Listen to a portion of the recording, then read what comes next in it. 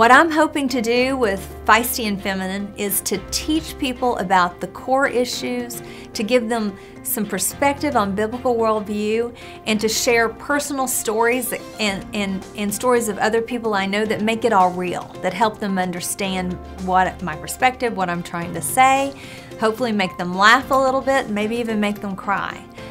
These are essential issues. We need to take a moment, learn them, ingest them, share our views with other people. And that's what I'm hoping to do with our book, to, to teach women to, to winsomely and, and, and hopefully share the important issues of the day with their neighbors, their family, their friends. Most people would be surprised to know that there's about 60 million evangelical and faithful Catholic women in this country.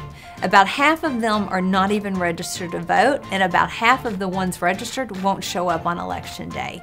If we can galvanize that group, if we can educate them and arm them with the facts and the information they need, not only can they show up to vote, but they can bring people with them because we are the thought leaders in this country.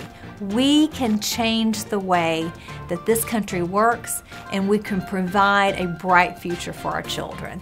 We have got to come together. We're feisty, we're feminine, and we're going to make a difference.